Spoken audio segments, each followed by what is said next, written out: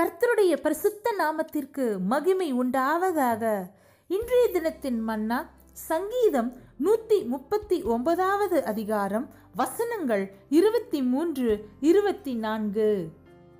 தேவனே என்னை ஆராய்ந்து என் இருதயத்தை அறிந்து கொள்ளும் என்னை சோதித்து என் சிந்தனைகளை அறிந்து கொள்ளும். வேதனை உண்டாக்கும் வழி என்னிடத்தில் உண்டோ என்று பார்த்து நித்திய வழியில் நடத்தும்.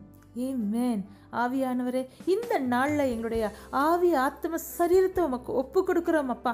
எங்களை நீர் ஆராய்ந்து பார்க்க முடியாது எங்களுடைய இருதயத்தை நீர் ஆராய்ந்து பாரும் அப்பா. உமக்கு பிரியமில்லாத காரியம் எங்களுடைய இருதயத்தில் ஒட்டி இருக்குமானால் ஆண்டவரே பரலோக ராஜ்யத்துக்கு சம்பந்தமில்லாதவைகள் எங்களுடைய இருதயத்தில் ஒட்டி இருக்குமானால் அப்பா உம்முடைய சித்தத்துக்கு செய்யாதபடிக்கு தடை செய்கிற யாவையும் ஆண்டவரை ஆண்டவர் உம்முடைய வார்த்தைக்கு எதிர்த்து நிற்கிற எந்த ஒரு காரியமாய் இருந்தாலும் உம்முடைய இருதயத்தை துக்கப்படுத்துகிற எந்த ஒரு காரியமாக இருந்தாலும் அது எங்களுடைய வாழ்க்கையிலிருந்து நீர் ஆண்டவரை வேரோடு அறுத்து ஆண்டவரை போடும்படியாக நாங்கள் செபிக்கிறோம் பரம ஆம் ஆண்டவரை எங்களுக்கு சுத்தமான இருதயத்தை சிருஷ்டிக்கும்படியாக நான் ஜெபிக்கிறேன் உம் சுத்தமான இருதயம் உள்ளவன் தேவனை தரிசிப்பான் என்று எழுதியிருக்கிறதே.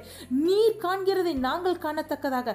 நீர் காண விரும்புகிறதை அப்பா மற்றவர்களுடைய வாழ்க்கையில எங்களுடைய வாழ்க்கையில் எங்களுடைய தேசத்தில் நாங்கள் பார்க்கத்தக்கதாக. எங்களுடைய இருதயத்தை கர்த்தர் பரிசுத்தப்படுத்தும்படியா நாங்கள் செபிக்கிறோம் அப்பா.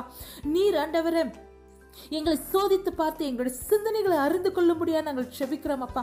நீர் விரும்பாத சிந்தனைகள் எதுவாக இருந்தாலும் ஆண்டவர் அந்த சிந்தனையை எங்களோட வாழ்க்கையிலிருந்து எடுத்து போடுங்க அப்பா. அப்பா நீர் ஆவியானவரை உங்களுடைய சிந்தனையை எங்களுக்கு கொடுக்க முடியாது நாங்கள் செபிக்கிறோம். கிறிஸ்து இயேசுவின் சிந்தனையே எங்களுக்கு இருக்க கடவுது பரமத்த கப்பனே. அப்பா எங்களை நீதியின் பாதையில் எங்களை வழிநடத்த முடியாது நாங்கள் செபிக்கிறோம். உமக்கு வேதனை உண்டாக்கத்தக்கதாக நாங்கள் எந்த வழியில் போனாலும் அந்த வழியை கர்த்தர் தடுத்து நிறுத்த முடியாது நாங்கள் செபிக்கிறோம் பரமத்த கப்பனே.